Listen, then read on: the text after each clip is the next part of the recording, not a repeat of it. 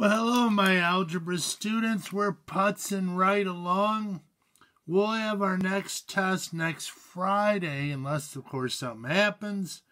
And our test is going to be scientific notation, a little factoring, and that's what we're going to do. Uh, we're going to review today and Monday. And then we're going to start fractions next week. So, um, a quadratic formula won't be on it. Parabolas won't be on which I know really disappoints ya. Uh, but uh, let's do GCF today. Greatest common factor and a little difference of squares. I will put the answers out on Monday from the homework I had you turn in yesterday. Don't turn in today's homework. I don't want you to turn it in. It's just practice. But GCF is greatest common factor. And that's where you have terms and you want to factor out, break apart a term that's common to every term. So if I have 8x plus, uh, 16, I would say, okay, is there a number that goes into 8? And is there a number that goes into 16? And hopefully you'd say, yes, 8. Then I would say, is there an x in both terms? You'd say no, hopefully. So then you say 8 times what is 8x? And 8 times what is 16? That's 2, and that's factoring out the GCF. So if I had 6x to the 7th plus 5x to the 5th, you'd say, do I have a number that goes into 6 and 5? And hopefully you'd say, I don't see one other than 1. And is there an x in every term? There is. It's the smallest power that occurs. So it'd be 1x to the 5th or x to the 5th. So 1 times 6 is 6. When you multiply two things same base, you add. So 5 plus what is 2? You'd say x squared plus 1 times 5 and then you already have x to the fifth. So if I have, let's say, 6x to the 6 plus 4x to the fourth,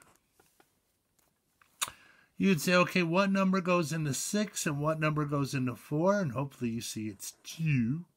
Do I have an x in both terms? Yep, lowest power is 4. So it'd be 3x squared plus 2, because 2 times 2 is 4, and we already have x to the 4th. So if I have 10x to the 10th plus 8x to the 8th plus 6x to the 6th, I'd say what number goes into 6, 8, and 10? And hopefully you would say, well, 2 is the biggest number that goes into all three. Do I have an x in all three terms? Yes. Lowest power is 6. So there's six of them in each term. 2 times what is 10? That'd be 5. Now this should be reviewed, but it's been a little while. Plus 2 times 4 is 8. And then I have 2 to get to the x to the 8. x squared, I should say. Uh, 6 plus 2 is 8. And then 2 times 3 is 6. And I, oops, I almost messed up. And I already have an x to the 6. So it's just 3. So try this one for me. 30x to the 30 plus 20x to the 20 plus 10x to the 10th. Factor that for me and turn me back on. Okay, what's the biggest number that goes into 10, 20, 30, and hopefully you see it's 10.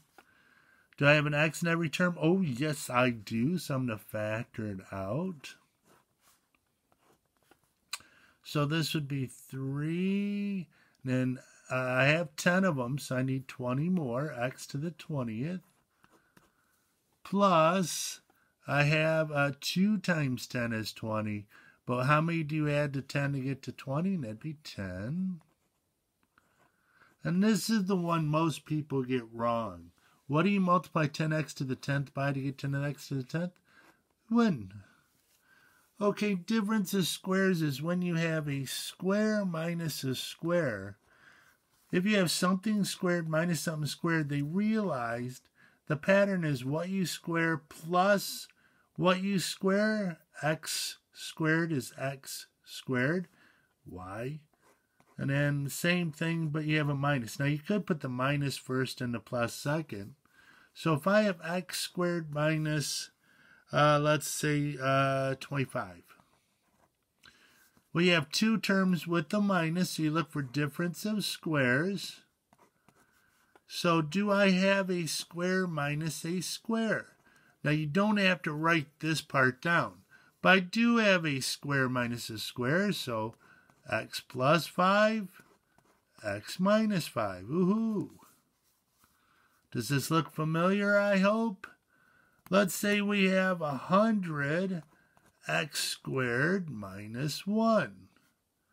Well, what do I square to get a hundred x squared? Well, 100 is 10 squared, and then x squared is x squared, and 1 is any power you want.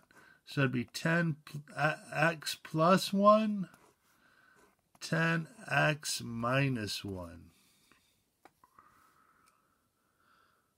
So let's say I have um, uh, x to the 8th minus y to the 10th. Well, what do you square? Well, if you remember, when you raise something to a power, then raise it to another power, you multiply. So really the question is, what times 2 is 8? And hopefully you see it's 4. Why is that dark over there? There, we'll bring it over here. And then this would be, what do you multiply by 2 to get 10? And that's 5.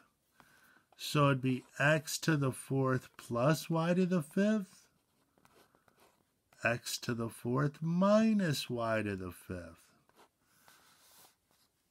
Last one. Let's see if you remember how to do this. What would be ooh, 81x to the 20th minus, oh, uh, 49 y to the 10th. Try that one and turn me back on. So, what do you square to get 81? 9. When you raise a base to a power, then to another power, you multiply the power, so it's x to the 10th. minus, this would be 7y to the fifth squared. So it'd be 9y, uh, 9x to the 10th plus 7y to the fifth. And 9x to the 10th minus 7y to the fifth. Hey, does that look familiar, I hope? So see if you can do those problems by Monday. Don't need to send them in. Then I'll have the answers to them on Monday.